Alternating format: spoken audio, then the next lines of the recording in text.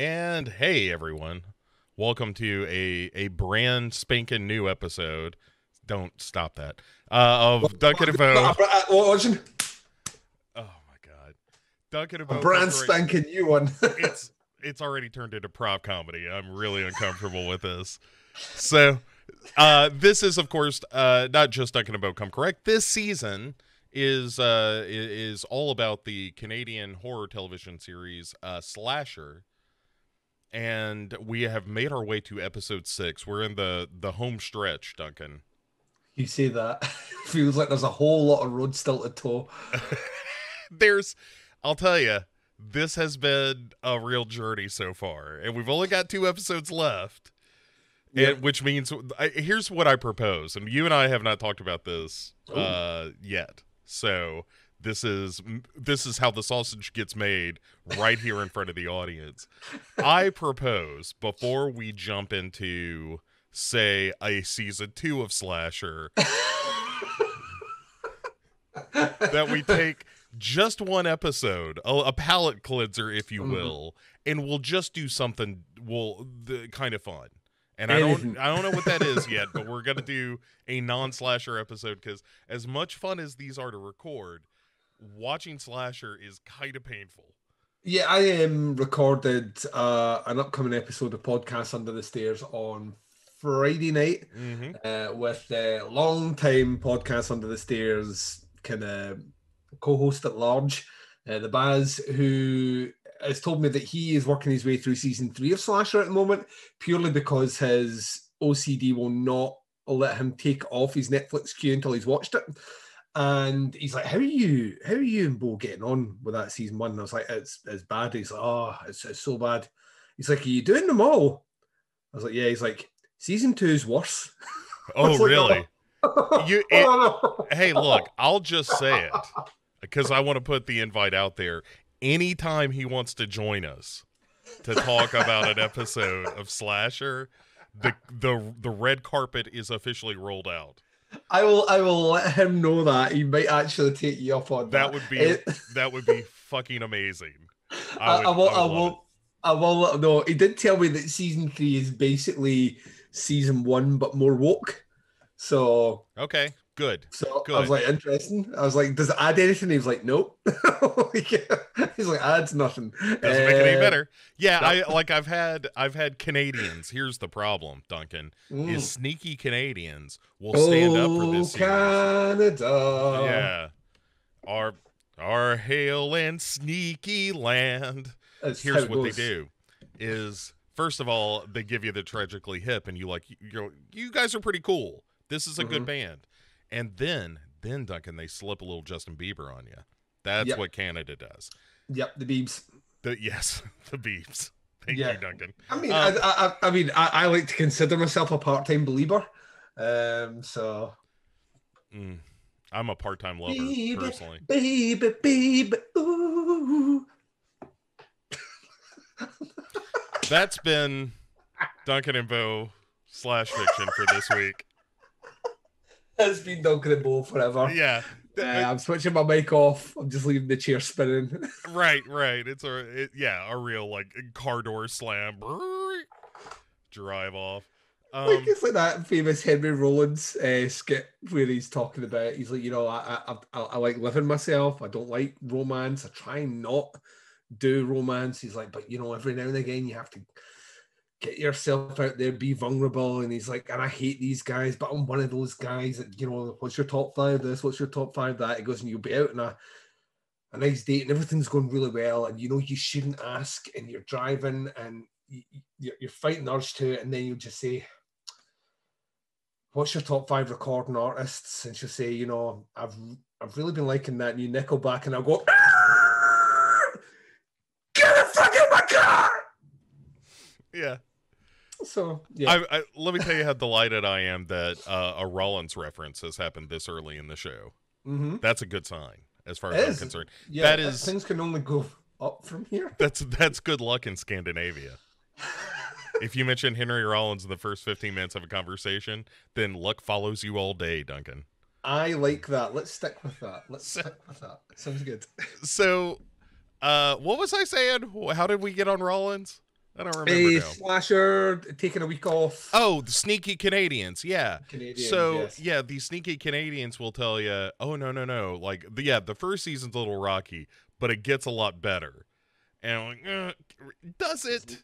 Literally does not it. what I've heard. I've heard the other. I've heard Right. the other way. I've heard that season one is what some people would consider the high water mark. Yeah. But see, this is what I'm hearing from Canadians, Duncan. That's why it can't be Ah. trusted. So, uh, th- with their Justin Trudeau's and their handsome heads of states, um, They're, they're they're they're yeah, they're they're Saint Bernards with liquor casks. Although in saying that, a dog that carries alcohol, Uh huh. I mean that's that's man's best friend right there. Um, isn't that just goofy? Kind of a little bit. Yeah. All right. Well, enough. You know how you know how a, a- dog that has a vial of alcohol around its neck wakes up in the morning feeling feels rough, um, because he's drunk there. Oh God. It's a hangover dog face joke. It's a niche market, but if you can just hit it right, It's the Venn diagram of people who like dog jokes, hangover jokes, and this show. rough. Oh my god. Um Duncan, uh I I know you don't typically uh watch or listen to this show, which you can do both of. Uh and whichever way you're consuming this show, thank you very much. We have some we news, love you. We have some new subscribers. I know that for Ooh. a fact. So welcome to a show that over time has gotten dumber. Uh, along yeah, with the hosts. Well, uh, uh, they're they're onto me because currently at the moment I am doing on my Thursday cast screening sessions. I've been uh, we've been working our way through the True Detective. So I've, of course, I've gotten some messages about this. I, I it starts when I'm at work, so I haven't been able to join you. But I, Yeah. my heart's with you, of course. I've been pointing people in the direction of that, and then it didn't occur to me at the time, but we are coming out of True Detective and going straight into Twin Peaks. And of course, I've been telling people they can go through Twin Peaks, the Twin Peaks journey with us as well. To which the they said, "Are you just like picking things that can be directed back to Duncan and Bo Come Correct episodes?" And I was like, "Maybe." Brand synergy. That's what I like, Duncan. That my Uh, plan all along, Bo. My plan all along, not accidental at all. Yeah, I, I appreciate that, and uh, yeah, and I've been thinking a lot about rewatching Twin Peaks as well. I think that's going to happen sooner rather than later. I think Yeah, I'm maybe like a month away from that. True Detective season three, interestingly enough, is proving to be a better watch second time round. Hmm. So okay, and I it was really it. enjoyable. Yeah. I I know, uh, like if you don't say it uh when you get to this episode, I'll be disappointed. But when you see the ultimate fate of Stephen Dorff, that is still like if that that hits close to home. That feels right to me, and I'm okay with it. Me me and a kennel of dogs in the backyard. Just shut up.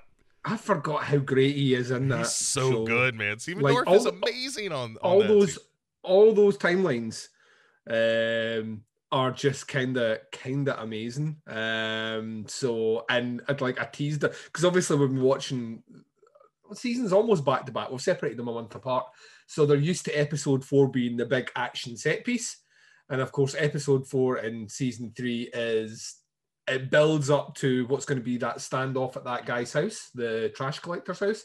Um, you know, the guy that served in Vietnam, the, the you know, uh, uh, kind of Native American Yeah, guy. yeah, yeah. The the one who like yeah, it kind of gets framed up for the whole thing. Yeah, Well, remember he he he, he, he sets the claymore at the door, yeah. and then the door got like, but that's where the episode finishes at the click, and we're all like, "Oh fuck off!" And I'm like, "That's right, next week, motherfuckers." Yeah. Uh, uh, uh, uh, you just got true detectived. Um, now you have to go through what me and Bo had to go through a whole week of waiting. That was so much fun. Uh, True Detective season three was a, a real fun Mhm. watch. Yeah, Um, one of the, me, you know, I know we just finished it, but man, Lovecraft Country was really up there as far as just uh, like the the the shows were fun to record and the Mm-hmm. quality of the show itself was so good. yeah. I think they're still trying to sort out moving parts for a potential season two. Um, but it seems like yeah. everyone that did anything on that show has just been rightly so given tons of opportunities and money to do stuff. So I'm like super happy. I think I think it's a, a it's exciting to see the names of like the, the key players behind that season, whether it's the talent or the people behind um, the adaptation or the, or the film and the, certainly the director, um, all now finding this newfound interest and from from different studios and different properties. So if we get one like three years from now, I'll be very very happy. If we don't, I, I mean, I feel like they've missed a step, but it doesn't take away from the fact that that was maybe it's up there. I, am with you. I think it's Duncan. the... Did you fall down? Do you need Do you need medical assistance? no, my watch started answering the question that I didn't ask it. It does this all the time. It just like it hears me like, don't ever don't ever think out loud uh, because your your watch will start being. I, I, love the fact that you've reached a point in life where you're just like, shut up, watch. I'm honestly like it's usually late at night. I'm just like, what is it? Leave me alone. Leave me be. Um, so... Let me rest. Watch. Give uh... me an hour give you an arrow. Yeah, yeah you, you, know how, what you people say. Yeah, that's exactly what we say. Um, so, we so all right, by arrows. Uh, quick, quick point out here. Um, yep. uh, Derek saying Henry Rollins uh, in chat better than any season of Slasher. Uh, accurate. If he should no be in a season of Slasher. Like that's the yeah. missed opportunity. You get Rollins in, instant credit. Rollins in as the oh Rollins in as the the protagonist, oh. and no, no, no, and then you get Cronenberg in as the antagonist and have them square off at the end. Oh, That's, you imagine? Yeah, yeah, yeah. Now you got a reason for Canada. You do something like that. um, and Alan also uh, in chat saying uh, about slasher. Oh no, it gets worse, jaw droppingly so. Yeah. So a non-Canadian Alan Mc- McPherson here chiming in. Um, so good to know. Anyway, Duncan, what I was saying is, I know you don't you don't typically watch or listen to the show, uh, but uh, we start the show with a little bit of a back and forth, a little yes. warm up, if you will, where we talk about movies we've seen. If you if you want. Uh, yes, a um, a mono e filmo. Oh. of, of of one good, one bad uh, movie that we've watched over the. Oh, using rhyme. No one warned me he was going to be using rhyme. oh yeah, you know, Dr. Seuss has been on the news a lot lately, and it just yeah, had people, me in the spirit of things. some people seem upset about that. Uh, it's anyway. I, yeah. There's no. It's too stupid to go into. Yes. Um. So Duncan, uh, do you want to start? Do you have a one that you you feel fiery about? Um, nothing that I'm particularly fiery about. But then shut up. Some... Uh, the bad for me this week is a movie called The Fourth Kind. So here's what happened, oh, Duncan. No, yeah, no, listen to me. Listen no, to me, Duncan. No, just calm down. No, just listen. So what happened was I got on a, a weird kick. I think I was talking. I might have been talking to Heather or something, and we, and we were talking about alien abduction movies. Yes. And I was like, you know what? It's been a while since I watched Dark Skies. Oh no. So listen. So I watched Dark Skies and I was like, you know what? That's all right. I kind of like Dark Skies. It's got a real grim vibe to it that I kind of dig. and so then I backed it up with the fourth kind because I was like, I remember the end of the fourth kind kind of rocking. So let me watch this movie again. Uh, the end isn't great, but the movie's good. I I forgot all about the hi, I'm Milla Jovovich. You forget about Welcome. Well, welcome to the fourth kind. I was like, what? Oh shit! I forgot all about this. This is dumb as shit. So forget about it. I, it was in all the marketing. It was the trailer. It's it, all of the movie. A lot of movies under that bridge, Duncan. I watch like I average at least a movie a day. So yeah, sometimes details get fuzzy. Go fuck yourself. Thinking, how, how many movies have used that technique though? One, the fourth kind. So right. I mean, it's like it's, it's it's different because it's different. But I blocked it out, Duncan. Is the point that I I made myself forget? Much like I was like, huh, man, were are there owls at the beginning of that movie? No, it's not an owl. Oh no, it's them talking straight to the camera in a really stupid way. So. anyway, so I had kind of a rough time with the fourth kind, but I came back uh, around to uh, Dark Skies See, I'm not a fan of Dark Skies, I, and I, I, I, I liked it. I quite like the fourth kind. Um, I think the fourth kind. What I like about it is it understands right at the start. Right, we're going to do this kind of full documentary, found footagey mockumentary. Well, Yeah. not even a mockumentary. But we're going to do parts that. of it are fake. That's the part of it that, but, like, that's, but that's yeah, clearly but so. Yeah, but what I like about it is that they're like that. We want to put named actors and actresses in this. So what we're just going to do is do it under the guise of a recreation, and I I prefer that actually. I, I, I prefer the honesty of it. It's like we want Milla Jovovich to be in this movie. So, in in order to do that, um, We either like get her husband to direct it, yes, uh, yeah, or obviously up front. and she'll be kick ass. She'll kick those aliens' butts. the the, the I, I, there was a part of me that never for a second fully believed in it because once again you've got footage like that and the internet people know about it uh, for it to suddenly appear as a film it's like nah, that's not right um, but at the same time though I no I, I quite I quite dig the sco- the stories behind that I quite I quite enjoyed that one Uh, yeah, Uh, it it it really. it's dumb though. It's a dumb premise. I'll give you that. It's a dumb, but at least he tried to do something different, regardless whether or not it works for you. They didn't go down the same. We're just going to try and play it that Milla Jovovich was actually kidnapped by this actress that looks surprisingly like her. Uh, was kidnapped by aliens, and it's a real movie, and believe it. So, and and that's another thing that kind of threw me on the rewatch of the fourth kind is I think the the actress who who is playing the the uh, therapist that the movie is based on, or like Yeah. the, the fake real therapist. I don't Yeah. think she's all that great. no, And she's and not supposed to be an actress, Bo. I I know, but it you know it's it's the Rex syndrome where that Yes. movie convinces me that all those people are exactly who they say they are in that Yeah. movie. Yeah. And in the fourth kind, there is never a point where I'm like, that's not that's always an actor. In, It's in Lake. Mungo. It's what you do is you do Lake Mungo. Right. Everyone Lake Yes. Mungo feels like the real person. Yes. Like, like when they're like, I'm I'm a, a DJ psychiatrist. Like that guy feels like a DJ psychiatrist. That's what Yeah. you do. You don't cast it based on looks or names or whatever. You cast it based on can they play that part? Yeah. You know, can they ad lib? Like most of the Lake Mungo is ad libbed. Um, and you, I think that's what gives it its authenticity. I think when you've got a hollow husk shell of a woman who's been abducted, sitting there, kind of all gaunt and pale face and shit, I think that's where it maybe doesn't And work. they've got my daughter. I just want her back. Oh dear, you're a cruel, cruel man. You're a cruel, cruel man. And I know I had three cucumbers, but now there's only one.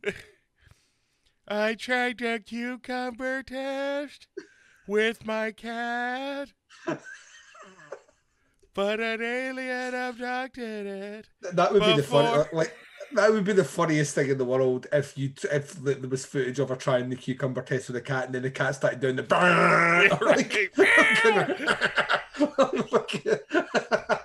the abduction face would be amazing. uh, the fourth kind. The- yeah, yeah. So that's real stupid, but uh, I did. Uh, I'm glad we could get like it again. I feel very optimistic about this episode as a whole because we've had a couple of really dumb ideas already, and I, that's encouraging to me. So, uh, what was your give me give me one of your good or bad? Right, so I'll swing into my, my bad. So in the interim between um between us recording, I did Glasgow Fright Fest digitally this year. So it was a, a kind of much stripped back affair. It was still a two day event, but it was only six movies uh, digitally curated by them. And surprisingly, this time around, I mean, there's always stuff that's predominantly in the horror genre, but there's always stuff that's slightly adjacent. This time around, there was a lot of stuff that was adjacent. It was maybe realistically, you could say there was one true horror movie out of the six. A couple of very, you know, very That's like sixteen percent of of the horror film festival being horror movies. Yeah, like flat, as, as in as in flat out, unabashedly, this is a horror movie because it dealt with kind of exorcisms and shit like that. So that's one hundred percent, you know, horror movie. Then there was some stuff about like serial killer. There was a serial killer sort of movie, but it was handled in a kind of dra- kind of dramatic sort of way. So I'm like, what serial killers? It's still very, very violent, so I'd probably put that in there. Um, there was a movie called Vicious Fun, which I would highly recommend everyone check it when you get your hands on it. It is very, very, very, very fun. Um, but the, the the movie which left me kind of like I, I don't I don't organize a festival, Bo, but I'd like to think that if I did, I would have a good finger on the pulse for quality um, and just filmmaking in general. And it's why I was surprised that this movie called American Badger made its way through. Yeah, that's the name of the movie. Is it is Uh, it about a badger? Now, if it had been, it would have been amazing. But um, no, this is about a hitman.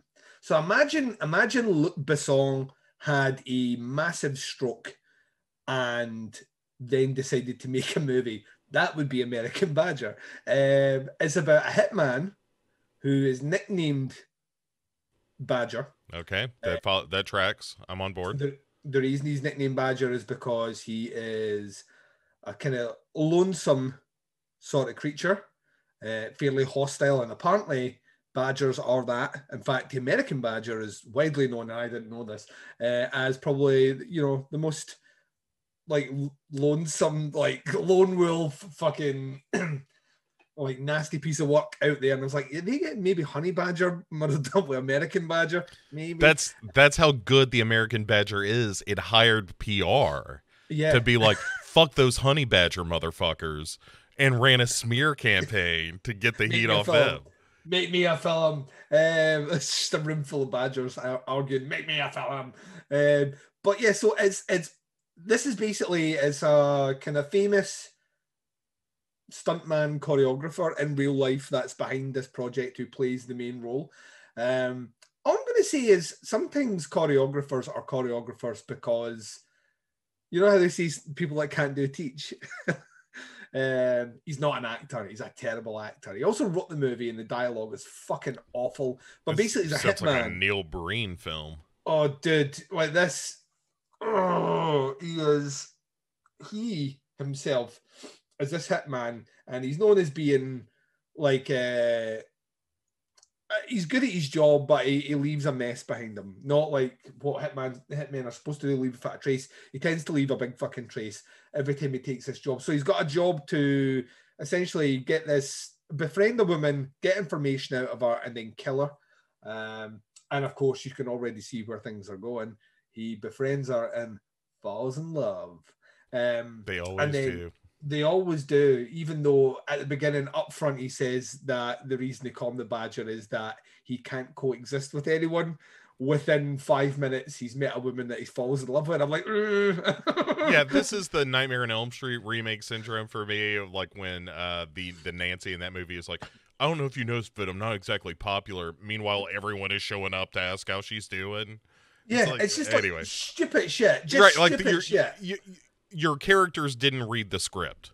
Yes, Yeah. but, but in, in the case of this one, he actually wrote the script and chose the leading role. So he wrote himself into this part he doesn't fall through. on.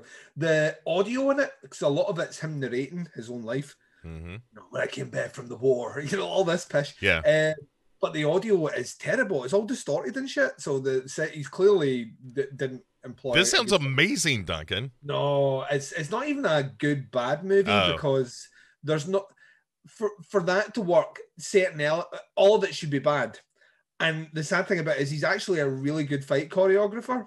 So the fight scenes out with the you know fake gunshots, of which there are many, um, the fighting scenes are actually done surprisingly well. So he, he, he clearly that's his bag, and he should just stick to it. But what's brilliant about it is if you actually go on and check his IMDb. This is, I think, his third movie he's directed, and all of them are about sex workers, which is starting to make me think that he either has an inside track somewhere, he has some inside knowledge that he's pumping for information, literally and figuratively, um, or I get it.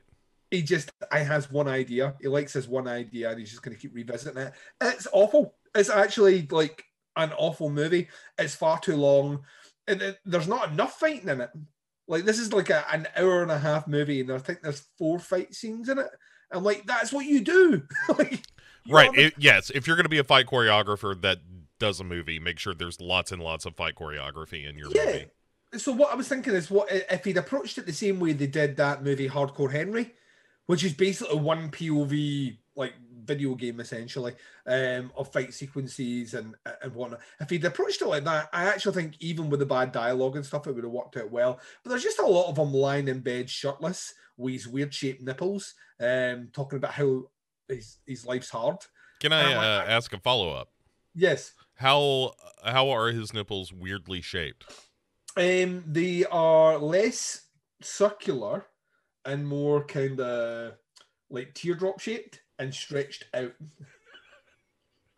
All right, I like seeing the hand motions. Uh, They're weirdly shaped. yeah. Okay. Um, All right. Uh, carry on. Like a pair of suspicious cartoon cat eyes. Um, you know what I mean? it's just not right. Cat eye Um, nipples are so in fashion right now, Duncan. I don't know if you pay attention to these things. Maybe you're not a fashionista like like I'm I, I try and avoid it, Bo, um, because I've been burned one too many times. on on nipple fashion. It happens. no- it happens. yeah. It changes so fast. As You such, walk yeah, into a room and somebody's like, "Oh, he's got last year's nipples." last year's nipples, disgusting. Yeah. Uh, you, you don't want to ever be, uh, you know, you don't want to go from the the it guy to the has been in three seconds, and that's what nipple fashion will do to you. What what Uh, have your nipples done for me lately? That's the question you have to ask yourself. So that's that's my bad. It- Okay. it, was it was it was bad. Yeah, um, that sounds really by- terrible. even by Fright Fest standards, it was a it was a bad movie. And they always have like one bad movie on the festival, but I kind of thought, you know, you're going from 13 features down to six. That means the quality. You just chop out the bad movie, and it was like, no, we need to keep it in. I don't know why. Yeah, we look. We got some some time to fill. Yes, Um, and they, yeah. So, uh, but yeah, some of the other movies, Vicious Fun, definitely want to keep your eyes out for. Run, Hide, Fight, which was a movie I was messaging about at the time, which is basically Die Hard in a high school uh, during a high school shooting. yeah, Um, that sounds like a lot of fun. I've I've heard a couple of people now say that that movie's just a good time. It's just uh, yeah. I mean, if you if you can devoid yourself from the fact that the subject matter is a bit uh, risky, it is uh, you know it is fun. And Thomas Jane is basically playing the same role that he did in Money Plane, which is kind of amazing. Um, like, like he's just the same guy. In fact, I, I think he's in the same outfit. I think he's maybe he was Did maybe the shoot- same day. maybe shooting them. You you get five minutes with Jane on this movie, and then five minutes with Jane on this movie. Um, so it, it was, but uh, yeah, vicious, uh, vicious fun, and um, out of the world, uh, which is a French movie, which has kind of got, it's kind of got maniac sort of vibes. It's kind of like it's about uh, essentially a French serial killer. Um, and I thought that was really, really, really, really good. So, um, so yeah, keep your eyes open for those ones. Avoid American Badger, um, and yeah, I think that's really all all I have uh, on that. But I do have goods, so when you swing around to me, I will, I will, I will bring in the goods. Yeah, I haven't forgotten. Um, I know what you do. so I mean, un, uh, unnecessarily aggressive uh, this early in the morning. It's daylight savings. I don't know what the fuck's going on. Uh, so uh, before we launch into the good folks, uh, I will say if you uh, have any questions for our Ask Duncan and Bo uh, section, which immediately follows this segment, uh, throw them into the chat. Uh, now is the time to do that, and I will curate as needed. Uh, Place but them nicely into the chat. Yeah, too- yeah, yeah. Place them gently yes. as you would a, a piece of fine china. Ooh, China, China. China. Uh, so my good Duncan is a a movie called Sound of Metal, oh, uh, it, which is a uh, an Amazon Amazon released it here on their service. I think they produced the film. In fact, I, I'm reasonably sure of that. And Yep. it's uh, Riz Ahmed is getting a ton of awards for his performance in the movie. The movie is all about a dude who is a uh, touring heavy metal drummer. Um, has a band with his girlfriend. They kind of uh, travel around in an airstream and you know d- gig and that kind of shit. And very very quickly he loses his hearing. Oh. And uh, the movie is sort of about him coming to terms with the fact that like he has suffered this uh, sort of personal calamity that makes his entire like it changes the trajectory of his whole life you know Mm. And it's it's really well acted it's it's one of those movies that could be like really saccharine and um just very hollywood you know yeah. where it's like well he's gonna learn that the power of you know acceptance is inside him all along and shit like that and it doesn't do that which is really nice and in fact it it it's a movie that does a great job of never coming out and telling you what the characters are feeling. Like Mhm. nobody is- is ever like I I feel like this. It's just it's all done through good performance and really subtle dialogue and it's filled with really interesting characters and um it's optimistic but it's also kind of tragic. I mean it's it's just uh, one of those movies that comes along, you know, every you get a handful of them every year that's like, you know, if this won best picture, I'm totally fine with that. You know, Mhm. like Nomadland is kind of my personal favorite this year, but boy, uh, you know, Sound of Metal is is super strong and a great journey as a film, you know. So Sounds good. it's it it's classy, Duncan. It's the kind of movie you could take your family to. It's a it's a classy award picture. It's not like your fright fests your murder festivals or what have you. It's a classy Oscar picture. Murder Fest. Mm, there's I- a that- movie. Wait, there was a Blood Fest and was it Murder Fest the other one? No, I think Bloodfest was the was the bad movie I'm thinking about, which There- had all the the killers. Yeah, but there was another one that was Hellfest was the other one. Hellfest. was other Hellfest was one. actually kind of good. It was like a really scrappy little low budget kind of endeavor. And the Yeah. Bloodfest was the one that got released to the theaters that was kind of a a, a real disappointment. Um yeah. anyway, enough of Bloodfest versus Hellfest here on Duncan and Bo Come Correct. That's our side podcast, Duncan and Bo versus Fests. Yes, that's right. But, We'll uh, take them on. what is uh what is your good though? So my good one, um, I don't know if it's available in the states. It's just come out in the UK. Uh, this is one that did play at Fright Fest last year. Uh, so coming back to my fests, uh, but played at the London one, which I didn't attend. Uh, even though it was digital, I did not attend. Um, this one is called The Columnist, and it is a uh, Danish movie and it is a kind of dark comedy, dark well, dark horror comedy, but it's the sort of dark horror comedy that made me smile a lot. Uh, it is about a columnist, funnily enough, who writes a lot of kind of fluff pieces for um for whatever publication she works for. It's always the the the kind of twee tacky story that appears in there, never the hard hitting Right. journalist. That that, that kind of like cat cat gets stuck in tree kind of bullshit. Yeah, that sort of shit. Um, and she is the brunt of a lot of essentially internet abuse. Like whenever she logs into her socials, there's people tweeting about her, saying the stuff that you would expect from people to say about particularly women online. Um, you know, the this century, just negative, horrible, repugnant, fucking vile shit. But of course, it's all posted without any well, it's all posted in anonymity and all posted without any repercussions, except she manages to find a way to track down the people that are posting things. And at first, she finds out that it's her next door neighbor who she doesn't really like. And um, she finds her next door neighbor while he's trying to do work on his roof, kind of stuck outside asking for help. And she just kind of just pushes him off. just just and then all of a sudden she realizes she has unlocked something in her brain that allows her to write some pretty powerful shit. So then she just decides to everyone that writes something bad about her she's going to track down and murder them. Um, and it is very very very funny very prescient very witty very clever.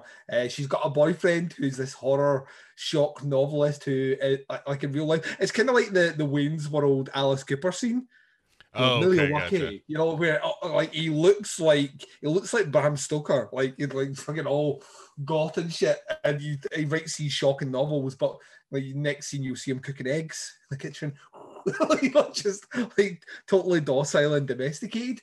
Um, yeah, it's it's, it's a, a switch your brain off. It's not trying to thunder down the point that you know that the internet can be a rough place and think about what you're posting before you post it because there's someone on the other side reading it um and there is that like kind of monologue towards the end where it feels like it's going that way but actually in doing what she's doing she's actually defeating the purpose of what she's trying it's, it's, it's very well done out but denmark doesn't have a ton of great horror movies in the last like 10 years. It's something that they don't necessarily do. They have a great kind of history of um, kind of silent horror movies, uh, like movies like um, uh, Vampire, for example. You know, that, came from there, like kind of revolutionized the way uh, people filmed horror, specifically moving towards like German expressionism. So they they, they had this kind of it looked like they were going to have like a great lineage of it, and they just stopped doing it. They do a lot of gritty thrillers, not necessarily horror movies.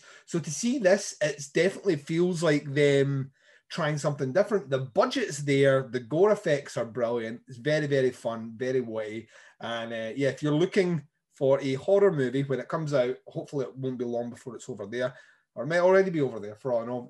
Um, well, you know, if you're looking for something you can switch your brain off, get some popcorn and have a laugh and watch people be essentially butchered for saying pretty horrible shit online, which let's be honest, we all wish we could do. Um, then it's a movie for you, The Columnist. And that sounds very much like an exaggerated version of the last like three minutes of Jay and Silent Bob Strike Back. it's, it's the same idea when they show up. They don't. It's pretty much that. There's just like like so. But how many people want to kick some ass playing? it's, it's that it's, it's sort of it's taken on that, but there's all bit there's there's lots there's nice little details in there. You know the fact that she's a woman in a predominantly male orientated thing. The the abuse that she gets given to her doesn't get passed on to her male colleagues. You know, it's, it's all aimed at her. Um, and so you're you're kind of you're kind of following her through that. And even down to the bit where she kind of tries to go cold turkey from social media, which uh, once again we've all done at some point, and how you just end up looking at your phone and I'm not going to do it. I'm not going to. I just I'm not going to. And then before you know it, wait, wait, wait, wait, dislike, dislike. Um, must post on this, must say this. Yeah. Uh, so yeah, it's, it's, it's, very, very, very well done uh, and a ton of fun. So if you're looking for a, for a, a dark comedy, uh, it's one for you. And hopefully it should be. I mean, it's just out over here um, officially. So I would imagine this year for the states if it isn't already. I will. Uh, I will keep an eye out for it for sure. That does sound fun. Mm. I think uh, what's immediately ahead of me is a rewatch of uh, The Sacrament. Oh, nice. Um, yeah, I'm doing the, uh, a BD clinic pretty soon. That is uh, all about Jonestown. Once a year, I'm allowed on that show. Uh, when they're like, "Hey, we want to talk about a serial killer," yeah. and so they bring me on for that. And uh, so this year, we're talking about Jim Jones, mm-hmm. and read the book uh, "The Road to Jonestown." Oh, it's a good book. It's a fantastic book. Good book. Uh, good book. Really interesting. Um, as I've said a number of times, the fact that Jim Jones once sold spider monkeys door to door is one of the greatest things that is true to to ever happen. Um, at, but at any rate, so I'm I'm gonna watch that pretty soon. I'm kind of excited because I've only seen it the one time, and I remember at the time not being disappointed, but feeling like I'd been duped a little bit because there was like like no no no, this is not Jonestown. This is a fictional account of a you know whatever, and then you see it and you're like, this is fucking Jonestown. Why do, why even front about this? Yeah, I think uh, that I once I got over that because I think that was a that was a big issue with me the first watch, and then on the second watch I knew exactly what I had. Actually, I think it's it's a shame that things panned out the way they did for Ti West too. By the way, he's coming back to do an A24 horror movie, so I'm not going to cry too much about it. Uh, you know what I mean? He went off and did some other shit, and now he's coming back to horror. But that movie, I think, didn't doom his career, but it certainly put uh, the brakes on it um, a yeah. little bit. And I never, I never understood because regardless of whether even I that's what horror movies do. Like I, I can't. I, have lost count of the amount of Italian horror movies that I've seen, kind of post the two years of Jonestown, which involve like it's, it's a cannibal movie. But wait a second, there's a Jim Jones fella with all these tribes out in the like. It's literally like he's been ripped off so many times in other capacities that is the egregious part where they basically said this is not based on a true story. And if so, why why is that upsetting when? Or like aggravating when most horror movies say based on a true story and they're clearly not. Um, yeah. You know what I mean? It's just a reversal of that. And I think once once I got that into my head, I was like, ah, it, has got good performances in it. And when it needs to get gnarly, that movie gets gnarly in a way that, you know, in a way which is quite upsetting. it's not not the real thing. Listen to the Jones tapes if you never want to sleep again for a week. Um, Man, I'm t- yeah. That that's Oh, the the problem with having done like the deep dive on Jonestown. It's like, man, that that that whole scene was way more horrifying yeah, than you you imagine. yeah, You know, Yeah. like the the the sort of environmental effects yeah. of a mass murder like that is oh Yeah. man, it just Like I don't think I don't think any filmmaker would ever be able to conjure up because I don't think we can stretch our imagination to begin to depict what actually happened. If you know what I mean? Like Yeah. you listen to the, the tapes are so harrowing and so horrific that to try and get your head in the mind space of crafting a visual to accompany that, I just think our brains break when we try and do that. So also the thing that was like i i don't ever want to see someone try to depict this Yeah. i i don't think is and you know listeners and viewers uh warning this is disgusting yeah. but uh, when they talk about how by the time the like uh GDF the guyanese soldiers made it into jonestown through the jungle expecting to meet resistance to to basically find themselves in the middle of a firefight Mhm. that by the time they got there because it is the jungle and hot all the time decomposition like rapid decomposition had already started yeah. and that th- already uh some of the bodies were described as having burst open Oh yeah. because of the heat and humidity and everything and it was like holy shit what a fucking nightmare that must have been to walk into a sea of just melting viscera Yeah, around it's you like, Uh, do you uh, sign up to be a soldier, do you sign up for that? Like, you know, what I mean? Yeah. like, like that's the thing that always gets me. Like, that's why I'd like, I, I, I, I know for a fact there's certain professions I could never do, um, and that is one of them. Even if I was like fit and healthy, uh, it's something I couldn't do because I just my brain just wouldn't be able to handle it. There's a reason I watch horror movies. mhm. It's for the escape escapism through that medium. I don't want it in real life. You know what I mean? so yeah. Woo. Heavy, heavy subject matter. See, we've now changed the tone. We were kind of going goofy. yeah Uh, and that was going to aid us, and then we went serious, which means we need to do something goofy. before okay so uh. No no direct questions although i'm gonna hit a couple of comments here Let me, let me Mhm. make sure that yes, okay, I did I didn't lie. There there are no questions that rolled in. Um but uh so somebody saying that they they were tempted to watch Sound of Metal but haven't seen it yet, but it was recently picked up by Criterion. Oof. And I was like, "Oh, yeah, okay, that makes total sense. That ought to be a Criterion release." Mhm. Um good, real good movie. You ought to you ought to watch that. And then Alan of course saying, uh I wish the Sacrament launched a whole series of Vice reporters getting killed. Which you know, I I would all right. I was I, Uh, I Vice isn't uh, Vice isn't a thing over here, Yeah. per se. So I, I I don't know the the full extent of what they do, but their involvement, like I mean, Vice are behind uh, Lords of Chaos, and that's a fucking great movie. So um, there You know what I mean? it's very like hey we're gonna we're gonna go out of our way to put ourselves in a dangerous situation sometimes which Yeah. is you know you're you're getting some visuals and some storytelling that you're not gonna get anywhere else but also but there's a reason- sensational aspect to it Yeah. that feels a reason little yeah it feels just slightly muckraking even Mm-hmm. though it's it, like it's not making shit up but it Yeah. anyway uh so uh the one question from very early on that i will i will throw out to you uh was the choice of socks you chose today a difficult one to make and Um, we'll take all comers Uh, the the socks that I'm wearing today, uh, if you give me two seconds, just for the, the you can only get this on the video. Uh, the Yeah. socks that I'm wearing today are Pennywise the clown socks. Oh, well. but to to that's much more exciting than the socks i have on uh what so uh, was answer that your question, w- were they difficult to get on?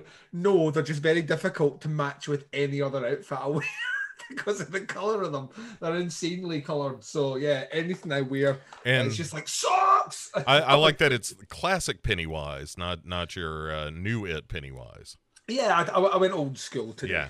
Well, sure. So- When you when you're picking uh, foot coverings, yeah, you want to you want to keep it classic. The Um, the huh, the huh. Kiss me, fat boy. It's uh, this is the best. Uh, Uh, so I uh I I I my sock choice is always the same. I have white white tube socks I wear all the, the time. That's what I, I wear. It is the most boring shit ever. It is it is a thing I never think about what socks to wear. I I look, I got plenty of other ways to accessorize. If if somebody other ways to express myself. yeah, if, if somebody's down to my socks, then I have lost, Duncan. I have. that is the. I, that's a the last line of defense. That is no line of defense. If you are if you are not interested by socks, I got nothing for you. Yeah. Dain- dainty and colorful socks aren't going to win you over. That's how that works, right? Is when people like you or don't like when they're pe- they're judging you, Duncan. They're just like, ah, I don't think so. What? Let me see your shirt. Uh, Yeah. no. All right. What's your underwear look like? uh, no. Let me see your socks. Oh shit, just plain white. It's, I, I'm it's afraid like, we can't be together. It's like that. Um, it's like that amazing old old Billy Connolly joke where he's he, he's like he never quite un- understood about your parents. You know, you, are you wearing clean underwear? You like before you go out somewhere, as if you know, like, like there's one day that you know your son gets hit by a bus and you have to go in and speak to the doctor and it's like, oh, listen here, Mrs. Connolly, it, it was a terrible, terrible accident. Your, you, you know, your son was pretty badly hung up. Incidentally, his fucking underwear was a disgrace. And as, as Connolly finishes off saying, "You would be too if you saw a big fucking bus coming towards you." right. I think I I think I remember that joke actually. Uh, Oh, God, speaking of a disgrace, Duncan, yes, let us turn our attention to let's do it. slasher. We have reached episode six. So uh, back in episode five, in those salad days, Duncan, um, we had uh, the title of the episode was just "Ill-Gotten Gains." That makes Mhm. sense. That's It was, yeah, yeah. It was. It was nice. It rolled off the tongue. It was less biblical. Yeah. Yeah. So what we get out of this guy, uh, episode six, the one who sows his own flesh. Ugh, again, again with this. It sounds like bad pinhead poetry. you know what I mean? Yeah. Volume one. Oh, hello. Dost I look upon a dusty rose in bloom and summer shade? I spear it with my hook, and dead it lies upon the pave. very well done. Yes. Thank you. I, this is my uh, mandatory appearance for a season of a TV show. I bid you farewell and adieu. I feel like he's been here before this season, though. I have overstayed my welcome. I have made two appearances and I have only been paid for one. I will speak to my agent immediately. yeah, uh, we're not doubling up on that. We ain't got two Hellraiser appearance money on this show. What do you mean I'm only being paid for one, Steve? Do not make me open the box and take you to the Leviathan. Look, and look, you, if they open the box and you come, I can't, I can't make them pay for that. Uh, there's a loophole somewhere in my contract. We must fix this now immediately. My hell contract is a disaster. And where is my rider, Steve? I asked for dangling hooks with bits of flesh. There's not even dangling hooks, much less bits of flesh. I require a, ba- a brandy glass full of brown peanut M&Ms, and there was not one given. There were the blue biscuit kind. Ugh. I can't stand it, Steve. I can't work in these conditions. what fresh hell is this? I have been to hell. I am the prince of hell, and this is a whole new hell. Ugh. I left there to get away from this kind of thing, Steve. so, episode. Someone opening the box and pinheads on like vacation, and you open the box and they get. "Ooh, ooh, ooh." Hello, this is Pinhead. I'm away on vacation for three weeks. Please, please put the box down and return in two weeks' time and open it. At which time I will answer your call with pain in hell. If this isn't a, a hell emergency, you can call Faust. Butterball is unavailable as well. He is scuba diving off the coast of Costa Rica. very, very difficult for him. He's quite buoyant. the Chatterer has entered a world pie eating competition. It will be very messy. It feels unfair. so much indeed. Uh, He stacks the deck. uh, oh, is this thing still recording? I better go. Hasta la vista, baby. so, episode six. Yes, episode six. and and Yeah. Ariel Peterson, who you may remember as the young woman, what uh, what has been uh, kidnapped and held hostage by Chief Brimley. Yeah, the, the one woman who became, which it looked like was maybe a side story arc, which all of a sudden after episode three has become, well, actually only really started to surface in episode three, and now it's a prominent story arc. Mm, like Yes. the executioner is now taking a backseat to this story. He's like, you know, guys, you know, I'm going to take a little break. I've been doing a lot of work, been killing a lot of people, doing righteous kills, both, you know, in the terms of biblical and also tubular. Uh, and I'm going to take some time out. And you just run with this story. And it's a, fla- we're getting a flashback, Bo, Yeah, to five years ago. yeah, and it it's the night she goes missing, which we've examined in some detail uh, with the whole story of June and Trent and all that Yep. stuff. And so uh, we see the moment where she's arguing with somebody on the phone, like a boyfriend or something at a party, and uh, the the EMT vehicle, the ambulance is what they're called, Duncan. Uh, Yes. it, it pulls up beside the the the body fixie truck. Uh, Ambulance is what they're called over here, Bo. yeah. So, yeah. you people have a different word for everything. Um, it pulls up beside Ariel, who is vomiting on account of drinking so much, and Trent has the line like, "She's yawning. oh, What what was it? Yawning rainbow chunks." Yes. And I was like, oh, "That's a new one on me. That must be a Canadian thing. Like here in America, it's like you know, puking, yacking, vomiting." You know, some of that. Like, what? What's uh, what are the the big Scottish ones? The the kind of slang term for throwing up through either alcohol or drug use is whiteying. Whiteying. Yeah, whiteying. All right. Uh, Yeah, for named after the uh famous album Whitey Ford Sings the Blues. I think it's more because the the content that tends to come out is usually foamy and white. so, Oh, okay. I got I got you. Wow, that is specific. I think that's what I think that's more what it actually is rather than anything else. Uh, like cheap, like cheap cheap alcohol in the UK tends to be um, like cider based. Like really, you can buy really cheap nasty cider over here, which teenagers will drink because Mhm. it doesn't cost a lot of money. But when you vom, it is just a spew of fucking white foam. It's pretty horrible. And like, Goldblum in the fly. Just, oh, oh, that's disgusting, isn't it?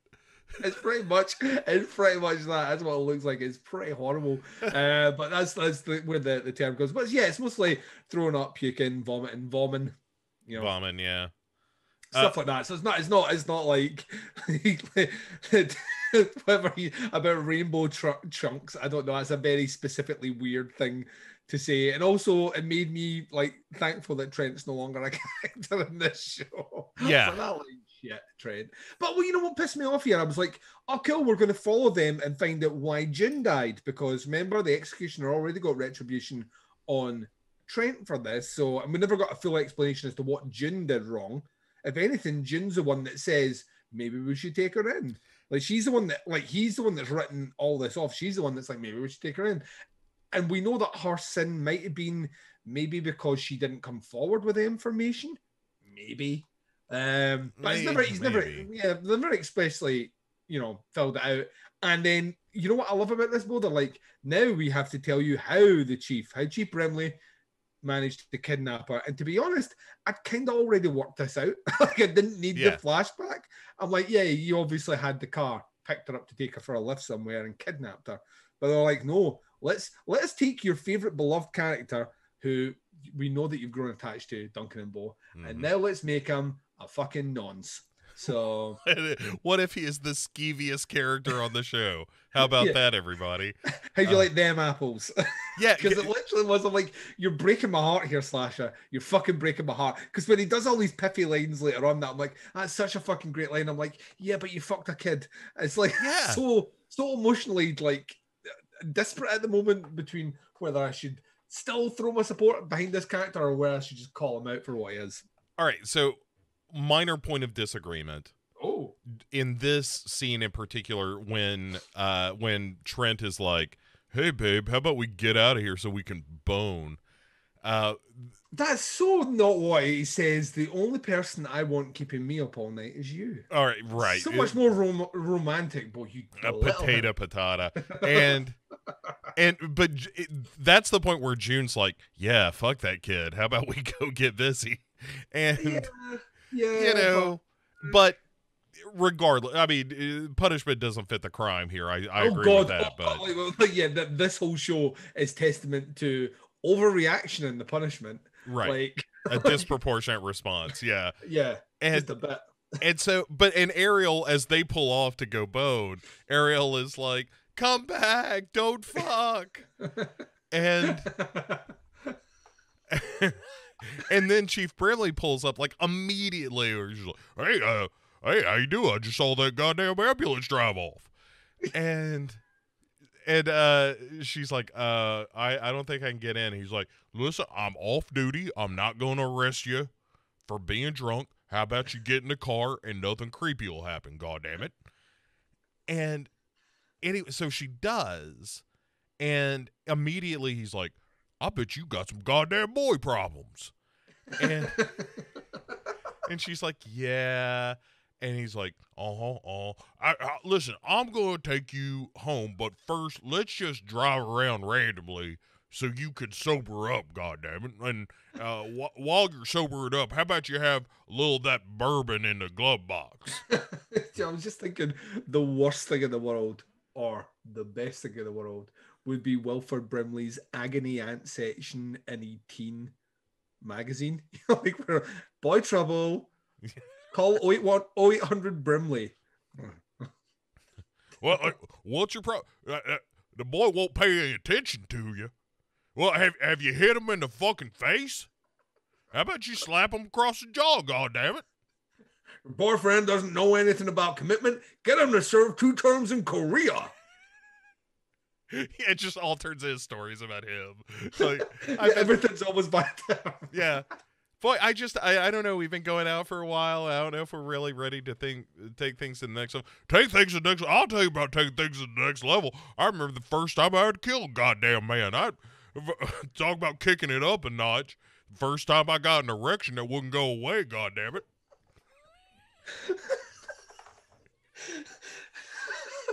it's nature's Viagra. it's They the, call- the most dangerous game. I I found out in the CIA they call it a murder boner, and it, it will not go away. They, uh, hey, I, I, I couldn't call no physician after four hours for this thing. It was going nowhere until I had washed the last of the blood off, and and the the high, you get a high when you take a life. What were you saying about commitment again?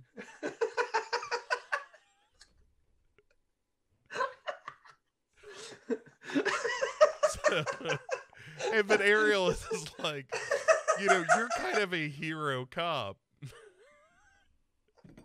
He's like, you're right, I am a goddamn hero. Hey, hey, how, how's it feel to have my hand on your your young leg? Well, so there's a, there's an insinuation here that he was in love with her mother Mm, when they were kids. I think because he keeps going back to how pretty Connie looked. yeah, He keeps coming back to that, and then you know he, he does it's the whole kind of he lifts the armrest up and then puts his hand on her leg, and she's visibly upset by this, as she should be, mhm. and she tries to get out, and then he basically just forces himself on her, and that's when we pan away. yeah. Welcome to Slasher, everybody. Credits. Yay! Yeah. Happy new episode. And and so we cut to the present day in his fuck bunker that he's built. where he's been keeping Ariel and they now have this love child yeah. in the the VC Andrews Memorial fuck bunker in the Oh, God. basement. And and they're lying in bed together in this bunker, and Ariel kind of gets up and she's like, "I think Jacob needs breakfast," and he's like, "Well, eh, wait just goddamn minute. We don't we don't get a lot of time to just lay around together on account of my goddamn wife. So how about He's uh, upstairs, by the way. right? So how about you keep your barely out of your teens ass here your bed with me?" and when Ariel is like, "Hey, how about we just all live together as a big family, and you let me out of this bunker?" It'll be like you and me and Jacob and Nancy. He's like, "Oh, oh, oh." Well, he's fine until until she mentions Nancy, and Yeah. that's when he gets. And I'm like, really? Is that is that the line that we're drawing here? Not the kidnapped teen. like, There's some things we just don't talk about. God damn it! One of them's my wife. You're you're my downstairs wife. She's my upstairs wife, and never the twain shall meet.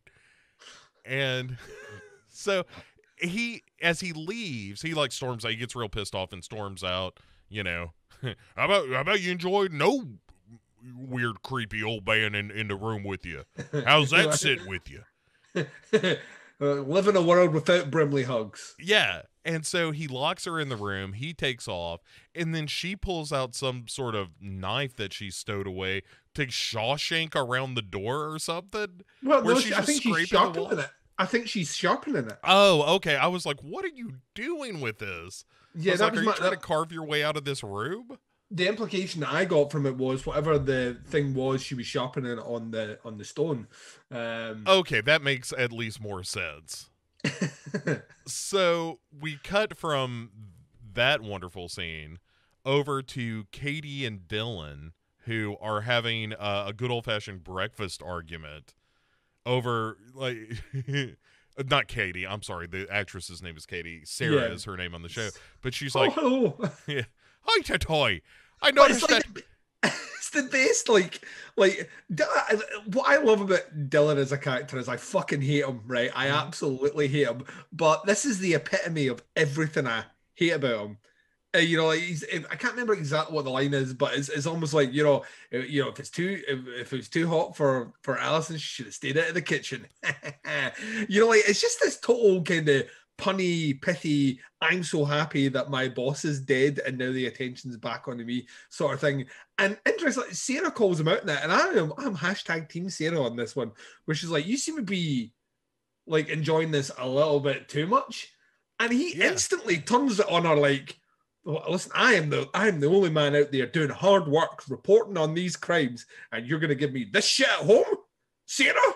You're gonna give me this shit? Yeah. How dare you? It's like so. It's that sort of thing. And then, of course, what I love about it is like say, like Sarah, like ask the question which Duncan and Bo have been asking almost since the first episode. Where have you been, Dylan? Where Yeah. you been hiding? What you been up to? To which he does not give her an answer. He does another one of those kind of passive aggressive, again, you know, Yeah, can't says, believe you're "You're throwing this shit on. Yeah. I, I can't believe you're throwing this shit on me right now. After all I've been through, my boss just being murdered. You know, I can't believe you're throwing this shit on me. And then he walks out, and I'm like, well, one, he didn't answer the question, but two, you hold the like. See if he is revealed to be the killer and not Cam. hmm I like. I would be happy with that because the killer is going to die in this show, probably horribly, and that is fitting for him. I want him. I want him gone, Bo. I want him gone. And the fact that he is a guy who has a laundry list of sins and has not been picked off by the executioner thus far makes him a good suspect. Yeah. And and so at the tail end of this, he storms off because that's what every guy in the show does is to leave a scene, they just l- walk off in a huff. It's sitcom. That's what they do. In, I've said it before. That's what they do in sitcoms. There's usually some sort of confrontation. Someone leaves. End scene. Next scene. That is literal to do in every every episode, every scene of this show. And so we we find Dylan next in the newspaper office where he's just moving some boxes around. Where I Also, guess he's this- taking Allison's desk. Yeah, but he's he, he, they say that she, he's taking Allison's role as owner of the paper. I don't think Well, that's how that's that how you- works. Yeah, you get promoted from editor in chief to owner. That's how it happens. This is not Highlander. You know what I mean? Like like she's, like she's been There can decapitated. be only one editor. know, I mean, it's literally not how this fucking works. Your job is the same. The paper will pass on to whoever she's left it to in her fucking will. But knowing Slasher's timeline, that decision's probably already been made, ratified in a court of law, and passed out um, in a day. But like he literally, you know, he is now in charge. So this is now his paper. He's not only editor in chief, but he's owner. And Yeah. I'm like, all right, maybe. And so Lisa Ann Fellow shows up to say, "Hey, this story is really breaking big. How about uh, you let me take you to dinner?" And he's like, "Well, maybe I can make it. I don't know. I'm getting a lot of calls from Good Morning America and 60 Minutes and other news places. I think Ira Glass called me." And she's like, "Oh, well, listen to Fancy Pants over here." Mm. And so we leave these two knuckleheads to go to Sarah now delivering Cam's newspaper to him. Yeah, because Cam can't wait to see Sarah come back and accuse his father of murder. And is once again morning drinking. Oh yeah, he's well, he's he's supposed to still be on administrative leave, I believe. Maybe, but then he shows up. Uh, it, it- Oh, I know it doesn't make any fucking sense. It doesn't make any sense. And she says, Listen, Cam, you're never going to believe it. I learned something new about this Ariel's disappearance. And he's like, What did you learn, Sarah? And she's like, That Marjorie whore. She was lying all along. Yep, and we're like Marjorie, Marjorie, Yeah, who's Marjorie again? Marjorie, And- Marjorie.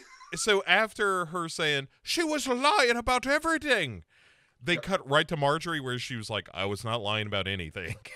Yeah, she's like, literally- we have a scene where they go and see her at our skeevy motel, where Right. she's like sitting wearing the cheapest perfume ever and a dress that is far too low cut for a woman of that age, um, and that kind of, and like she's done a lot of drugs. Paul, That's all I'm saying. And Yes. she, the, the way she quantifies the time is fucking amazing.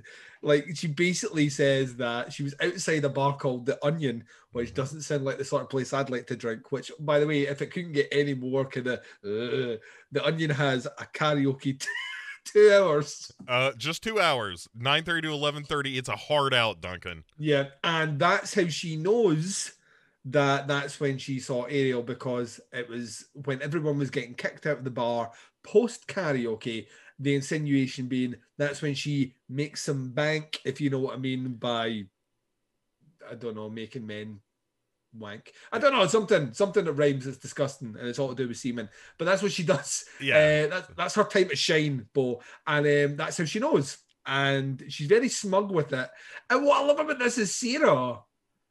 It's like like Sarah's basically, you know, when I think of that 15 year old girl going there, this wasted life woman, and all she says is, you know, your mother, your mother was a whore, but at least she was like happy. At least she was like a happy person.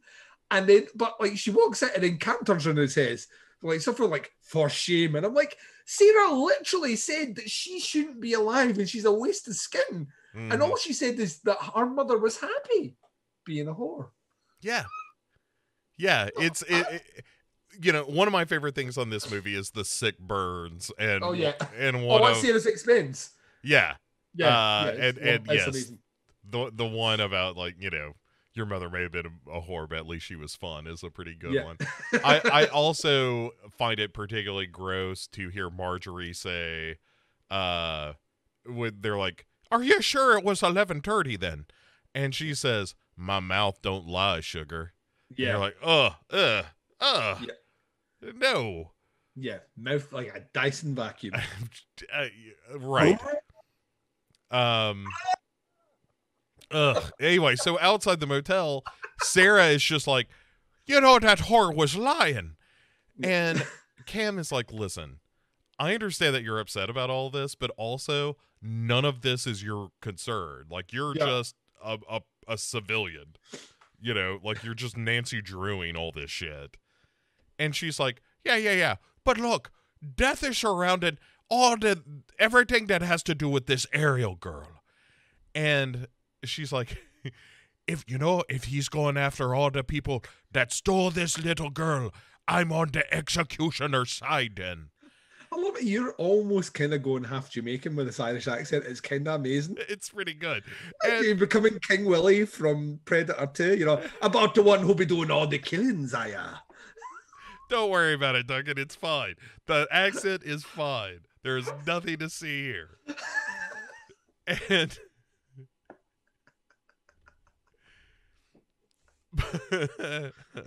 but Cam immediately pivots into like, "Hey, I'm sorry I said those mean things about you," and she's like, "It's all right."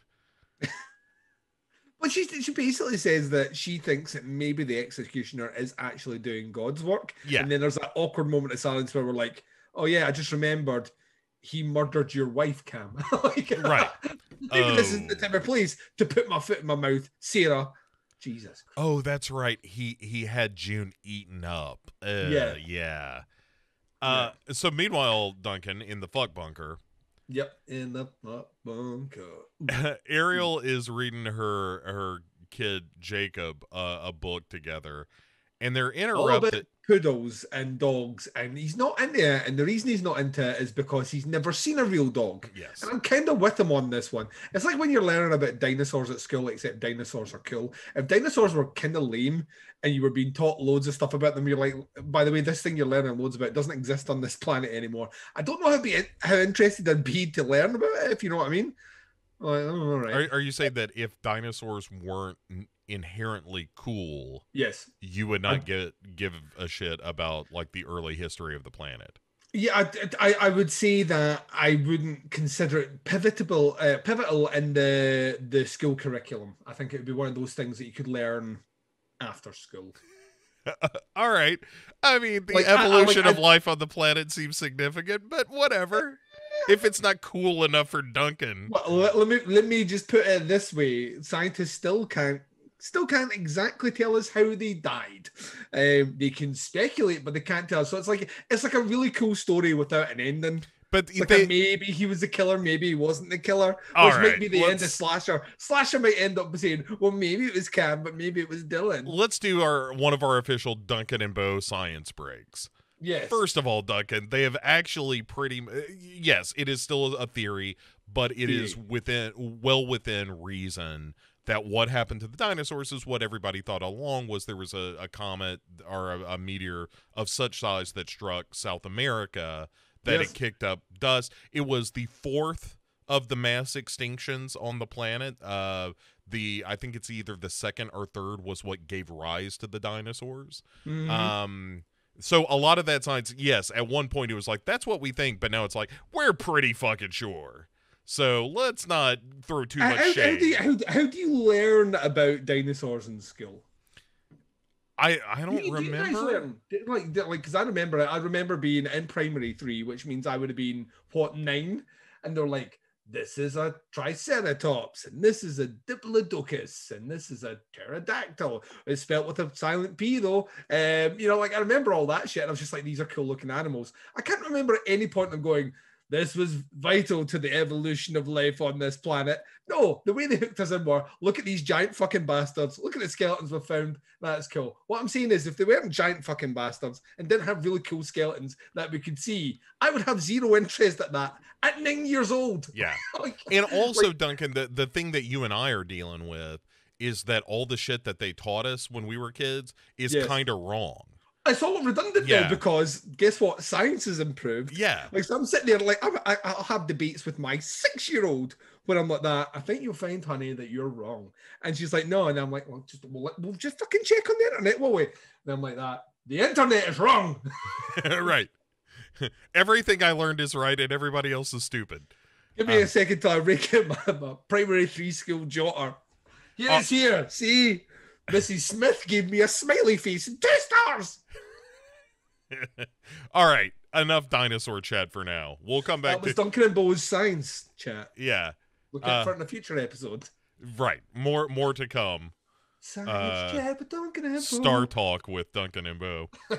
and and so uh, Chief Brimley busts into this story time with the kid and has kind of a moment about poodle trivia w- with his son Jacob. Uh, who he's like, you know, hey, did you know that poodles don't shed that you have to cut their hair? And he's like no i i didn't know that. You're a pretty smart goddamn little boy. And then ariel is like hey i'm sorry about bringing nancy up earlier but you know jacob's talking about getting outside and you know how he gets.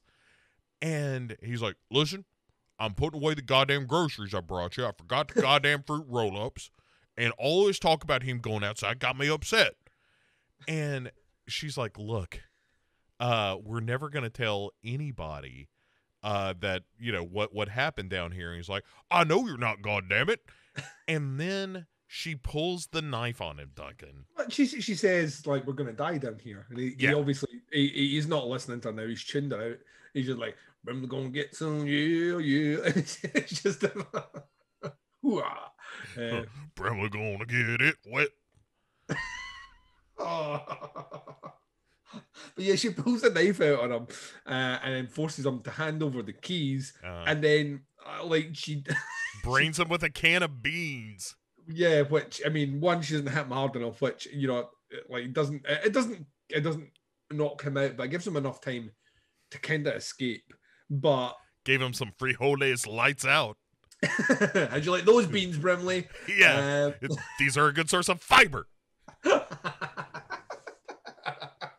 fiber, fiber uppercut. That's a Sagat joke.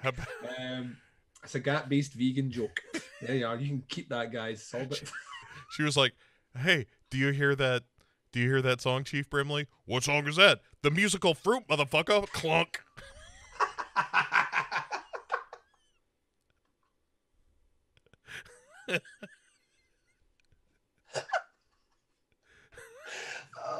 And so, Oh. and so she and this oh. kid make a run for it, but the front door is locked, so she tries to run upstairs. She's silly because she has the only keys. She goes out the door and she doesn't close the door behind her and lock it. Yeah, yeah, yeah. Which I'm like, Ariel, come on, hen. This is played over in your head like a hundred million times in the time that you've been stuck down there. You visualize this moment. The first, the rookie mistake is you didn't close the door and lock it. Yep, yep, yep, yep, yep. Yep. And so she she gets kind of cornered uh heading up the stairs when Chief Brimley, who has come to, uh, is like, Hey, Jacob, my, my young son, how about you come down here and give your old man a hug, goddamn it? and and so the kid does, he runs down to him, and then Chief Brimley's just like, Check it out, Jacob, sleeper hold. It's literally some of that fucking reverse naked chokehold, uh, a la the UFC, and it's, it's kind of looking at you know, I don't want to have to do this, sir. God damn it! Um, My but I- God, he has him in a sleeper hold. Oh, look at Mary. This kid's got a family. Come on, ref. Hey, clearly, this is against the rules. Get that boy out of that ring.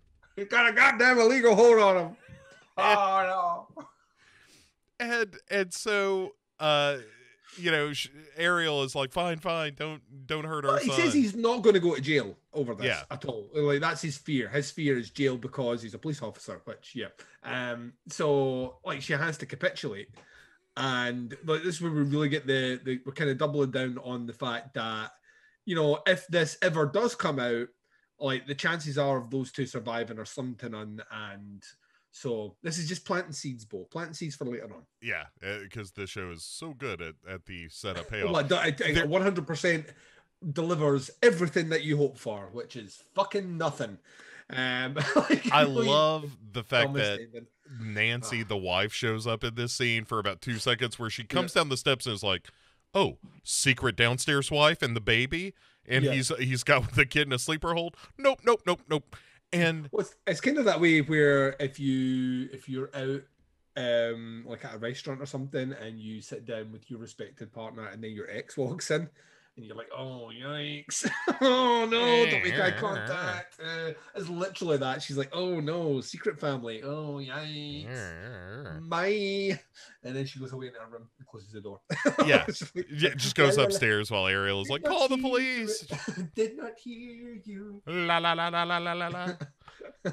uh, and then over at the police station, Brimley is ripping Cam a new one for oh, investigating this case. Going fucking raw, and the best thing that happens out of this is when he's like, you know, we went across and talked to her. And he's like, we. Yeah. And it, like he goes straight away. It's not like the Nancy Drew stuff that we're hearing usually. He's like, you're thinking with your dick. Your wife's not been even in the grave a week. And I'm like, yeah, but this is slasher. I'm surprised that time being the way it is in this TV show, Cam isn't married, retired with seven kids and ten grandkids. He's got a new kid. He's been married and divorced a couple of times by this episode. you know, like got an addiction, you know, did some time in AA, got out of that addiction, um, started a, a you know, wrote a self-help book, cured millions, does a fucking talking tour every year. Like, is it that's how time works in this show? But like the insinuation from his point of view, and it's smart if you're Chief Brimley, is to basically say, listen, you're being led around by your dick. You're listening too much to her. There's nothing in this. We've already investigated this. What information did she give you? And Cam's like, well, she told me the same story she's always told me. He's like, exactly, motherfucker. Yeah. My my favorite uh, Chief Brimley line in this is the circular logic of him being like, "You should have goddamn called me before you interviewed this witness," and he's uh, Cam says, "I I tried, to call you. I you weren't picking up your phone," and he says, "Well, I would have said no, goddamn it." Yeah, because like he's, he's thinking to himself, that's right. I don't get any telephone reception in the fuck dungeon. Yeah. Uh, yeah, it's like the cognitive dissonance you have to have if you're Brimley in this is kind of great. Um, But he's like, getting tense. Like the the like he the, the shit is starting to fall apart around him. Like yeah, the- the walls are closing in. Yeah, it's slowly starting to be tightened around them. Yeah. But we're still quite a bit. Let's put it this way: he does nothing but accelerate this. like, Yes. like every step that Brimley does, pretty much from now on, is accelerating his inevitable demise as a character in this show. he is a very bad criminal. Yes. Yes. And all right, so let's leave our shitty criminal for a second to go back to uh, Lisa Ann Fellows, who is now at dinner and and kind of buttering up Dylan, but he's just like, mm-hmm, mm-hmm, all right, and she's like, well, hey, is there something going on? He's like, look, I get it. You chose Allison, but she ended up with her head in a fryer, so now you're you want me to help you. And she's like, "All right, you're pretty clever. What do you want?" And he goes, "A book deal."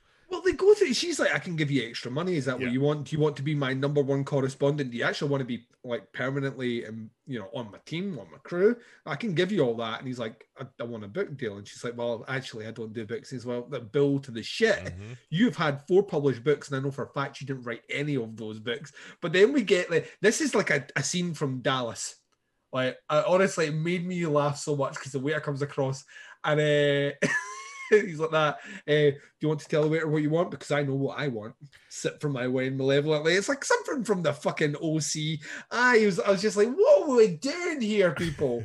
What are we fucking doing here? I mean, you're not wrong, but it's one of the most clever things that that happens on this show. It's literally the best line of the show, right? It's, it's the, the best line which doesn't involve someone slam dunking on Sarah, right? It's like, Yes. like, Uh, Um, right. A caveat, of course. Anytime we say this is the best thing on the show, we are, of course, excluding the number one said- thing, yeah. which, which, is, is anything said to Sarah in, Yes. in, in jest or in ridicule, which is instantly top tier. But yeah, it's just like such a kind of. He thinks he's the cock of the walk and he's holding all the cards. And once again, I don't know the ins and outs of the, the whole way that media works in the Mm. States, but I'm thinking to myself, there are other reporters. Yeah. Just get one of your you, you are a hotshot in New York. Just get one of your hotshot reporters to fucking come down here and do the investigation. Fine, cut this guy out. What does he have? He's only been in town a month. What does he have that no like no hard trained seasoned reporter could be able to get? It is fucking ludicrous. It's just like like she's fawning over him and all the rest. And of course, the idea of the book deal comes out, but I think we get a telling bit of information here because then when he talks about that, he specifically says, not that I'm claiming that Slasher is this clever, but he says, you know, I want a book deal. It covers, you know, the 30 years of the murders. And then I'm like, ah, right. So that's why I was writing to Tom. Yeah, Like from the beginning, he's always had this idea, book deal in the background, which then once again leads credence to is he instigating some of this shit? Is he behind some of this shit? in order to get the book that he wanted? You know, what, what, what does this actually mean? Or is he just as two dimensional as most of the people in Slasher are?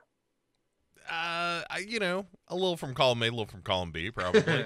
we'll find out. uh, so at the local penitentiary where Tom is, Sarah shows. we, get, we get our first shot outside the penitentiary. Yeah, And this ain't in town, Bo. yeah. I was like, where is this again? Because So it is a, British. it's a real like. eh, You know, gate sliding closed kind of thing. It's like, did she just go to the police station earlier? like she gets like there and back quite quickly and Yeah. uh, like we see this thing as it's, it's like stock footage of some prison somewhere in america somewhere very remote in america though um and i love the fact that like like when when people that are prisoners um, are essentially brought to speak to people. There's time that it takes to get the paperwork sorted, sign in, get them, arrange them get out, get the cuffs on them, walk them along. And Tom's went through all. She's went to the trouble of traveling this far out, and he's went to all this tr- filling in the paperwork, getting all this stuff checked, going through the usual rigmarole, getting patted down by someone aggressively, maybe a cavity check. I'm not too sure, but it's Tom we're talking about here, and he was a killer. Uh, going through all this shit, right, for Tom to get brought into the room for what merits a 30 second scene, Bo.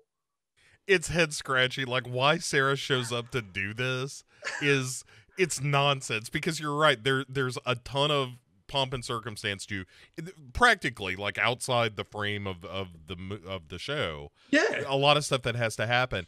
And Sarah shows up like when Tom gets brought in the room, she's like, "All right, so you maybe you think you're my father or something."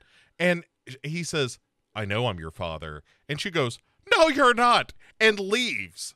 Yeah, she, she literally just walks out. That's a conversation that could have been done over the phone, Bo. It's it's like somebody pointed out like, "Hey, did you know this is episode 6 and we haven't had a scene yet where he says, "Hey, I'm your father?" Yep. And somebody was like, "Oh fuck. All right, we could do it. We can put in this episode. Here, I got it." She goes to the penitentiary. Why? To talk to him about being her father, but she doesn't believe it. Right. And then she leaves. Uh-huh. Perfect. It you know, Yeah, pa- pass me the wontons. Mm. it's It's, like, it's so- the Jordan Peele Gremlins 2 thing of It totally is. I, it's so funny. Um, oh my god! And then we we cut over to Marjorie, who's smoking with an ashtray on her stomach, and I get it. yep. I get that. uh, so, so Brimley shows up at her motel door, and he's just like, Brimley. He's in his like he's in his uh, pale kind of lemon shirt and his cotton trousers, and it's just all very not and his badass tattoo. Which if I was him, I would I would have those sleeves rolled up all the time. That is some rocking ink he's got. yeah, the torment, uh, forearm, you know, crucifix tattoo. Uh, oh yeah. But when he shows up, he's like, "Listen, Marjorie, I just want to drop by, see how you were doing, goddamn it, see how, how everything was going." And she's like giving a, a back rub, and and she's like, yeah, "Hey, the implication here is that he's a regular.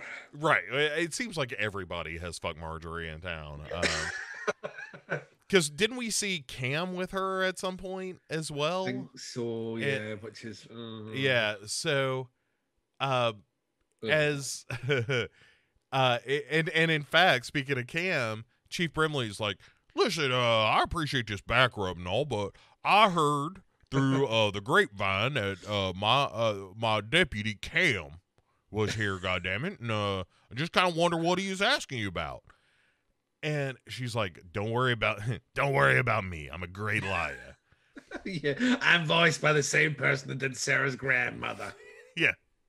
they And- would have been best friends on this show. See if they had just been together, like at a bar for a scene, it would have been the fucking high watermark of this fucking whole escapade. old friends and like the reboot of the Golden Girls set in Waterbury. Thank you for being a friend. I live at the motel and I'm back again. Your we both smoke. You're a friend and a girl I drink with. And if you threw no, there's whole life's a party. Yeah. And if we keep partying, smoking all the smokes we can. You will see the biggest cough will be from me. And when I hack it up, I'll say, Thank you for being a, I don't know, lady I know.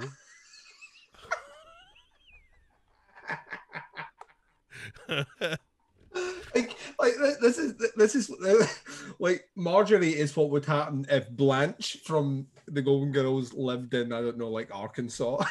right, like if she if she fell into drugs. If she was a character, if she had a crossover character in Breaking Bad. Yeah. You're you're absolutely right. And and so she's like, "Don't worry about it. I'm a great liar." Uh, and he's like, "Really, really, you're a good liar, are you? Goddamn it! Well, how about this? What what direction was she walking? Huh? What what what clothes was she wearing?" And she's like, "Uh, I don't remember that." And he's just like, "Right, goddamn it, you're gonna get us caught." Yeah, well, his point is you're you're so sure, you're so adamant, your memory's that great that you can remember what time you saw her, but you can't remember any other detail, which instantly just makes your story look fake. Yeah, and and when she says like, "Well, just tell me what you want me to say," yeah, that he gets this like real quick like. I got a killer look, you know, like it's all right. Yeah. It's go time. so, like, what you want me to say? I'm gonna poop. yeah, and so he's like, "Hey, I happen to find these really good non-poisonous drugs on a criminal today. Would you like some of these really good non-poisonous them, drugs? Them, I, I, found them off. He said I arrested this John, right? Uh huh. And which I think means guy. Thing is, that, it's a yeah but, customer.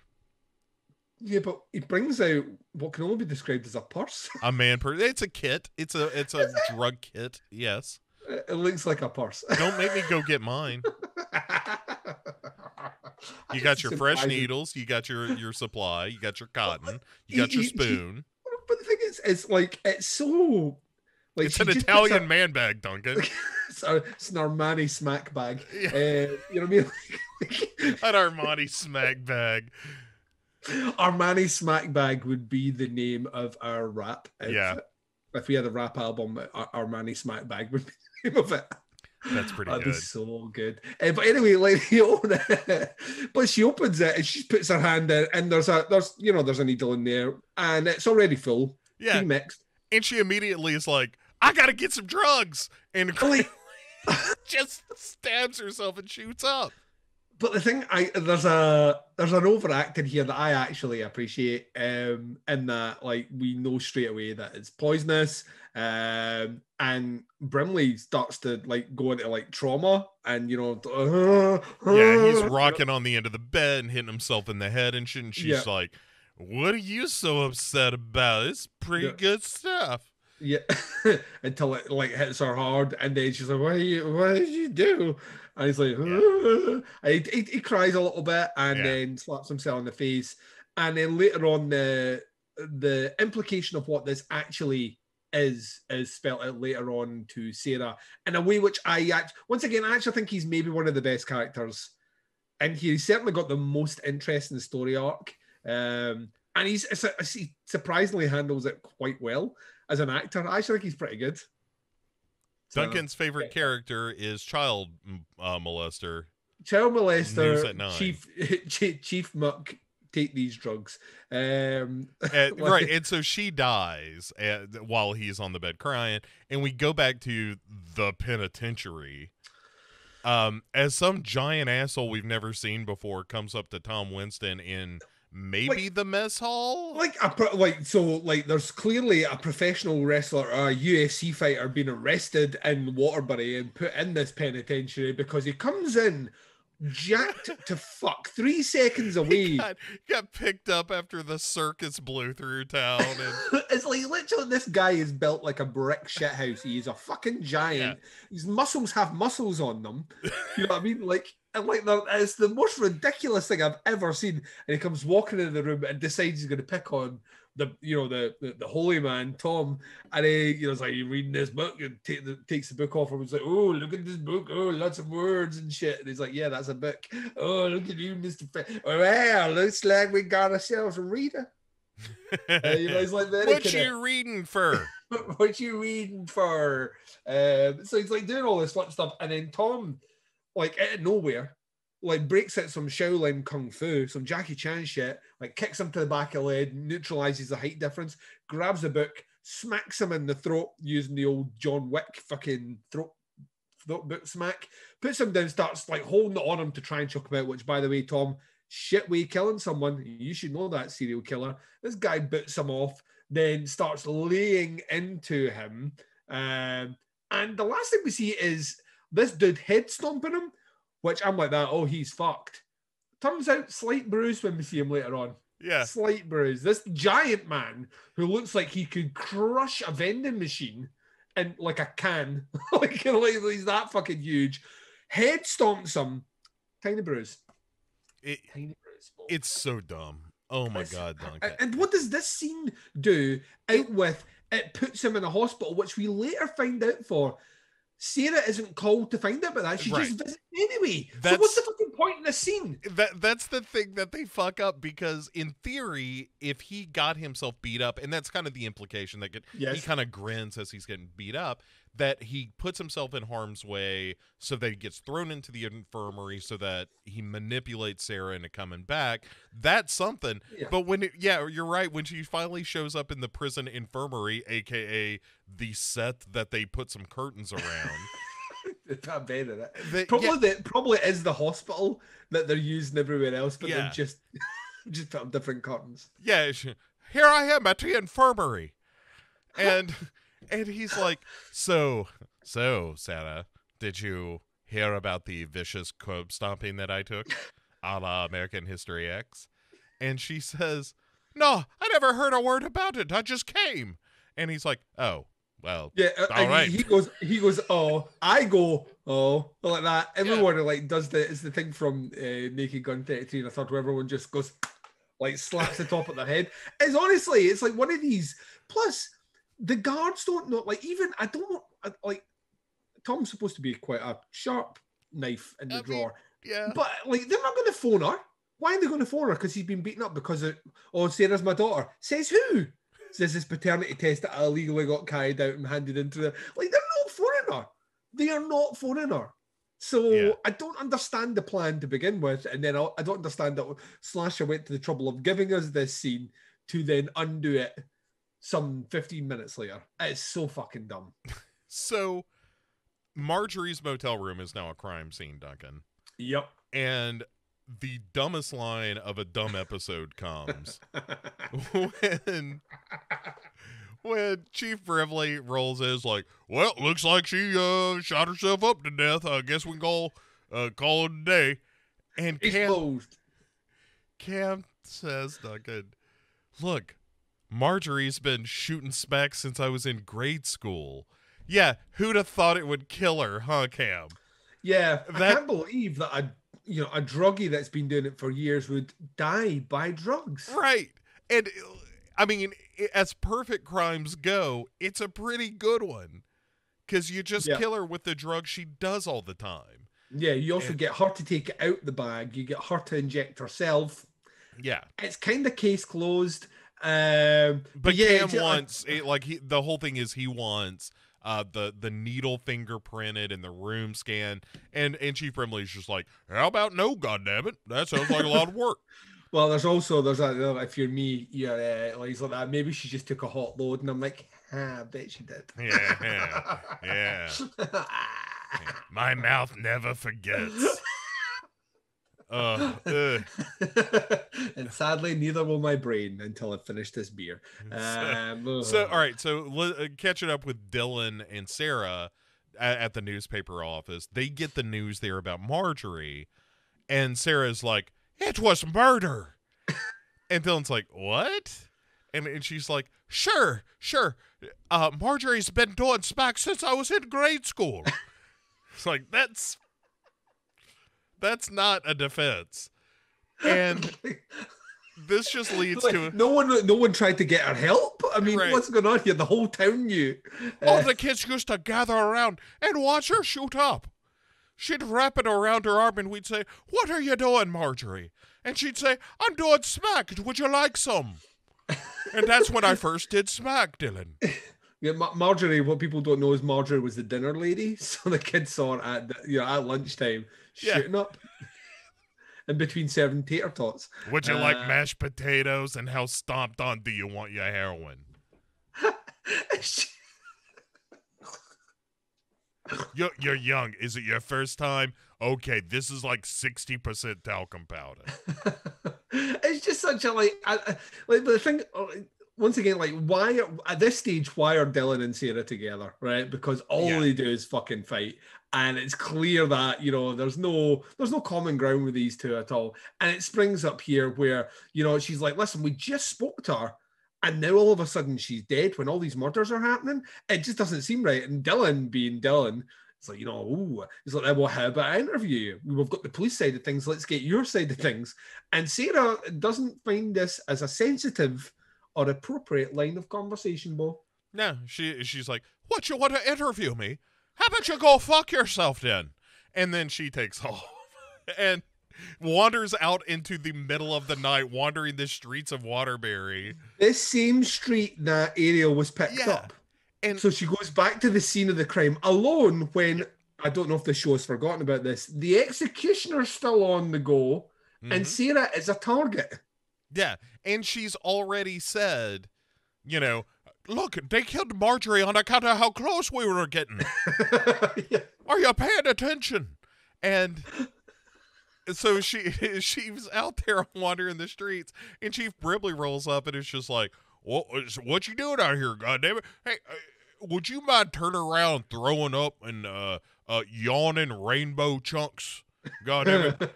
and and she's like, "What? Are you crazy?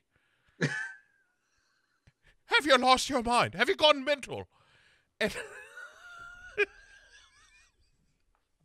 so, so he's like, "No, how about you let me br- take you home? God damn it!" he's not asking either. He basically said he's doing it, and she goes around to get in the side passenger door, to which she says she can't come in because all the stuff's in the front. To which she looks down at the seat, Yeah, and I don't think there's anything there. Bo. I think it's like a granola bar. it's a tracker. Well, I bar or can't be throwing that around. Those things are brittle. They break up in the packaging. You can't even Fucking- eat them. Goddamn. like a fucking can of monster or something. And you know, like, like and um, he's like. I need you to go in the back, and she just goes into the back and sits down. You know, to the bit that they put criminals in that the criminals can't get out. Mhm. And then they start driving, and then we get like this. This to me is like primo, like Officer Brimley, like Yeah. shit here because he is. He, I I just love how brutally dismissive of her he actually is in a way which just is me. This is how I'm like with her all the way through this TV show. Um, when they start talking, but she's like that, she's like says something about can I be blunt with you? And he's like, I think we're past that. like, Yeah. oh yeah, we're like so fucking past that. She's like, but here's the great thing about this is she's like that. She's like, um, she basically like is gonna is she's like, I'm gonna lay the facts out for you as I see them, and I'm like that. Right, she's gonna lay out a fucking like a fuck ton of information here to basically prove to Chief Brimley that he is wrong, like that he's not considered things. And all she does is like essentially reiterate absolutely everything we knew, which is four points. Yeah. And Here, then says kind of like- apropos of nothing is like, boy, that sure works out pretty good for you. Yeah, Wait a like, second. Yeah, but the, I was follow. I was trying to follow Yeah. her train of thought, which was Uh-huh. a shit train. Uh, Uh-huh. didn't come into the station because, like, how does it go back to him? I- like June. June goes missing. She's Right. leaving, Yeah. leaving on that Eh, shithead train to Georgia. Allison like hacked the emails to frame the well, ultimately Right. to frame the dad. So So the she the did, dad but- wasn't wasn't the killer, is what she's proven. Right? Marjorie was lying about seeing her late at eleven thirty or whatever. Yeah. So, but once again, I can right. What my under my loose understanding of what she's getting at here is that Marjorie came forward with her statement after the you know the the emails, text messages, phone calls, or whatever were hacked. Mhm. And what Chief Brimley did was circle to his good prostitute friend Marjorie and get her to make a false testimony by clearing it up. But she would still need to know that Brimley had asked her to do it. Like I'm, I'm trying to follow her train of thought, and she's just like, that worked out pretty well Why- for you. Why How did did it work out well? why did Cam ever tell her in the first place? Yeah, Or not Cam? I'm sorry. Why did Chief Brimley, Brimley ever tell Marjorie in the first place? Yeah, that- it doesn't. like what I if you're trying to keep your your secret basement wife secret, why tell make- somebody to cover tracks that nobody's looking for? But she's literally sitting there like, Eureka, I've done it again, Eureka. Like as if she's cracked the case wide open. Yeah. And she comes to this like realization where she's like that. And I'm I'm thinking to myself, and then like Brimley asks her, like, pretty good for me, how, Sarah? like, like, Yeah. finish that sentence. And she can't because it's bullshit. Right? She's like, yeah, good for you, cause, huh? 'Cause- and then and then we get Did did you happen to win like a little bit of money in the lottery that night? yeah. Maybe Listen, just get, you know, twenty five dollars, something good, but not great. we get me the the clip that will probably most likely start the episode. Yeah. this week, which is he just fucking just calls her an idiot. Yeah. And it's just not not even sugarcoating it this time. He just calls her like he's two steps away from calling her a fucking idiot. Right? It's it's brilliant. It's just like you um what, what was it? How, how did the word that again? Yeah, you're an idiot. Not not for uh, Yeah. your theories, which you're Yeah. dead on for, but Yeah. because you got in this car. Yeah, because you got in that you got in that door. And then that's when she's like, uh, door's not opening. Uh, uh, and then Brimley goes into like stops, makes her throw her phone out, points a gun at her, and then he starts going, you know, what's the what's the what's the punishment for pride, Sarah? Come on then, Sarah. I've never seen you tongue tied before. What was was that? What happens? What, what? She's like uh, broken on the wheel or something. Yeah. It's like bro, oh, broken on the wheel. That's right. Goddamn, it sounds pretty goddamn painful. I guess we're gonna find out. And my, one, uh, again, sub favorite to this scene because there's a lot of good quality Brimley in this moment Mm-hmm. is when she she says, you know, don't worry, Cam will come and save me, and he goes, well, Cam is my bitch. Goddamn it, he, Cam is my bitch. can- he can tickle my balls for all I care. And so he drives her to just a pile of trash in the middle of the road somewhere. Just I'd like it's not just trash; it's just a lot of wheels because Yeah. we have to break her on the wheel. And I'm like, I don't know if that's a figurative fucking wheel or if that's just a metaphorical wheel. But anyway, she's been broken on the wheel. Uh, it gets like this is like once again, this show has a tendency to like when they do want to go a bit gnarly and vicious. I, I do like some of the ways they go. This doesn't pay off because the the injury that's about to happen here causes about the same damage as the head stomp to fucking Tom earlier on, in that uh, it was no damage. But he basically he gut punches her, throws her on a wheel, gets a tire iron, fucking smacks her leg with it. Which that's a the way she's acting. That leg's broken, It- right? yeah, like a compound fracture for sure. Yeah. when she runs away, that's not how she's acting. But like she's lying there, and I get this great line where he's like that, you know, like I, I, I had never killed before. You have made me kill, Yeah. and it's this idea like that he's gone past it. Like you, that's why he was freaking out on there because he was a man of the law.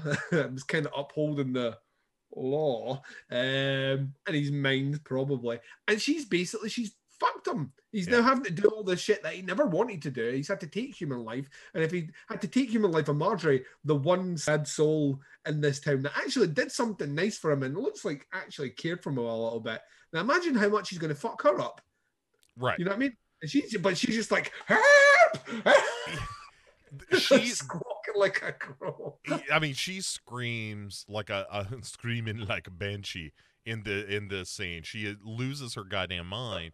But then, as soon as like she has an opportunity, she's just like yoink, and then fucking runs away. You seen Bolt's it. Like actually, there's fuck it, like that leg that got smacked with that tire arm. Not an issue. She outruns. this She outruns the chief who's shooting at her. Manages to flag down a car, Texas Chainsaw Massacre style, um, as Brimley's fucking just shooting at the car to jump Yeah. into escape. And I'm like, oh well, Brimley's fucked now. He, in fact, he screams the scream of the fucked as the car drives off, and you're like, oh yeah, He's he's got his gun. He's doing the he's doing the leather face thing, but he's swinging it. Yeah. like in the middle of the road. And and so we cut over to the hospital where where Cam is.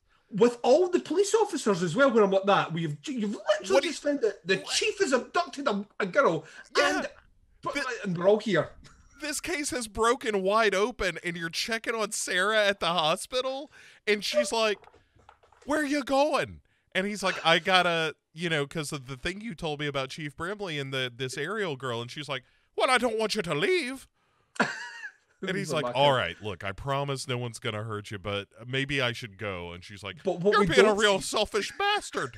like he stays here, but what I love is the stuff that happens in the scene that we don't see, where she's still trying to get him to stay, and eventually the only way he can get out of the situation to do his job is if Sarah comes along on this bust. Like, why is she in the scene at Brimley's door? Like, why is she there, Yeah. Bo? Like, I'm like, this show is so painfully annoying. But we cut to to, to like Brimley's Brimley going to get some Brimley gonna get some. the- Yeah, it's so, hot in the city. It's like yeah. He he kind of like slips into the fuck bunker and does the like, "Hey, wake up! hey, wake up!" And they're like, "What's going on?" He's like, "Yeah, uh, I'm real sorry, goddammit. Um, but I gotta kill us all. It's a, uh, Jacob. This is what you call a murder suicide.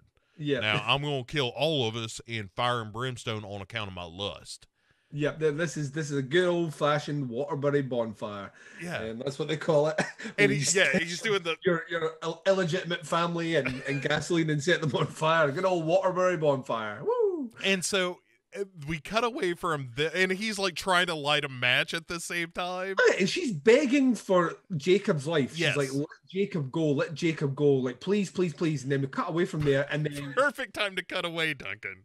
yeah, like we're gonna cut away from there to ding dong. Like, Hello, yeah. Mrs. Nancy. Hello. like, Yeah, hello. And I couldn't possibly. What? Hello? She's like, this actress is terrible, but Yeah. like, I mean, at the same time, she's like, "Woo!" like, totally has been doing smack since grade school and just done some before answering the fucking door. Duncan, I propose that this is a real no knock entry scenario where you don't worry about the wife answering the door. You're like, You we have probable cause. Yeah, you don't ask if the chief's there either. Yeah. Like giving him time to, I don't know, do something like set his family on fire. You just go in. Um, but like like Sarah's got time to use her psychology Yeah, on him. she's by, like- you know, Cam, shut up a second. I got this. she like Nancy says one of the greatest lines ever. Like she's like, "You ever seen those TV shows where like the woman gets to up the house and the man has this thing? I think they call it a man cave." As if like this. like Yeah, yeah. I think I heard of that. Yeah, go on. it's just, I think they call it a man cave. And I'm like, Yeah, and Sarah's like, wait a second. I think I'm putting this together, Cam. You get the men ready. I'm close to a breakthrough. Nancy, the Does- does your husband have one of these man caves? The she basically says that. Yeah. She says, "Does your husband have one of these?" I'm like, obviously, you fucking stupid bitch. Hey, uh, wait a second, Cam. Before you get too excited, let me let me make sure we got the right house. And it's oh, man, it's so it's stupid. So, so Oh. bad. and So, so so bad. so they they rush in finally, and Ari and Jacob just wander out of this fuck bunker. yeah, not covered in gasoline anymore. Yeah. And so cut to later uh, and let's not explain anything. So cut to a little later and Sarah is just watching Ariel, Ariel and Jacob be attended by like EMTs and given blankets and there's a little bit of a to do with like, you know, them taking Jacob to check him out and she the Ariel doesn't want to let her son go and, and on a different show this this might all work. And And then Heather shows up and is like, Ariel. Yeah, Heather, who has been crazy for the whole episode or whole series, is like, Oh, Ariel, my daughter. And they, you know, we've we a family is reunited and all. And speaking of, Dylan's not there. Who's been? He's been at every single bit of breaking news anywhere, but the press isn't here. Once again, why is that? Doesn't Yeah. make any fucking sense. Or does it, Bo? oh, and all right, so we, Because Cam, like, it was Cam in the scene. Uh, I, I, yeah, yeah, I think he is. He- So I, th- I, I don't know. Either we're playing really, really, really clever here, or I think we can maybe remove Cam. Mm, I mean, I hate to do that, but it is shaping up to be Dylan more and more. But Yeah, eh, you just hate to see it. Yeah. So anyway, so there's the whole uh we mentioned this earlier, but there's the scene with uh Sarah going to the infirmary to visit Tom where uh she's like, "Listen, I don't have any family left, so I This guess I'm stuck with you, the serial killer." That's literally what she says. Like after accusing the mayor of being her granddad, which went nowhere. No paternity test there, by the Right. way. sh- But She has required no proof. She now believes that Tom Winston is her father. She Yeah. doesn't need any paperwork or anything. She's just going with it. She She's just feels it in her gut. she's gonna go with it now. But I love the fact that she's just she's like that. You know, we're gonna have to set some ground rules. And I'm like that. Oh, the cognitive dissonance again of being in this situation. What the fuck are we doing? And she she basically she's like that. But what I need from you is I need everything. You can't lie to me anymore. It's like I won't lie, Sarah. And it's like Ed, like no more lies, no more lies. I want to know why you killed my mother and her husband. So already, like like years of this guy being your fucking dad, gone Totally in a off. Second. yeah. Scored out the family books. Like, Fuck like that head- guy. He never told me that my real father was a, a serial killer. So Yeah. fuck him right in the ass. Like cutting out all his heads from all the Polaroids and replacing them with Tom heads. Like, like, like literally changing her. She's going to change her fucking surname now. Like just the, the whole thing. She's all in, but she's like, you need to tell me why you killed them, and I want every, I want all the details. And he takes a deep breath as if he's going to start to do it, but we're not. We're not going to get that. That No. might be next episode. Maybe, Bo. Who fucking? I hope it's all a flashback episode next episode. Anyway, I'm the same as you. I really just think that we're so close to knowing who the killer is now that we have and we have two fucking hours of this TV show left. Oh, that's a that's like that's the whole of you know 2001: A Space Odyssey. Um, so like we jump we jump forward into like what because I know what you're thinking. What happened to Chief Brimley? Uh, Chief Brimley makes his great escape bow by going down to this shanky looking retro fucking went down to boat dock. Uh-huh. yeah, boat dock. It's, oh, can we call it a boat dock? It was a bit of wood sticking it into a lake I uh, built whereas- it with a couple of pallets I got uh, from the Walmart. with, with these really like expensive, but nice speedboat that's sitting Uh-huh. there for a slight trip down the lake. Um, because that's he doesn't travel far, and you know time doesn't pass in that. Well, for all we know, time in this it could have been three days of travel, but he, he travels down to his other shack, um, which is you know out in the middle of nowhere. He- goes in there, and this is I I think he's going to hold up here for a while. And of course, I was thinking in the back of my head, the executioner's going to get him. And then I was also thinking to myself, how, one, how does the executioner know about this cabin? Two, how does he know he's going to run there? Like, there's all these things that you have to take. like, It's the same with horror movies, but I try not to think about too much of it. Like, any one slight deviation in Brimley's plan means he doesn't end there. So the executioner just stood in this hut for two days, going any second. Yeah. Going to come in any minute? like, like, it's like there's so much this has to go the right way. But he gets in the door, he's smacked over the head with what looks like maybe a tire iron. And I was like, Or another hmm. can of beans, you know. Freeholders deja vu, motherfucker. Quack. Oh. it's a double dose of fiber. Yeah. Um, Some repunch beans. Bam. repunch beans. Go, But, like, and he's out. he's out. Like so, he's out. So he wakes up. Where does he wake up, Bo? In the uh the official Bill Murray casket from Scrooge where he's being set on fire. He's like, no, let me out, don't let him burn me.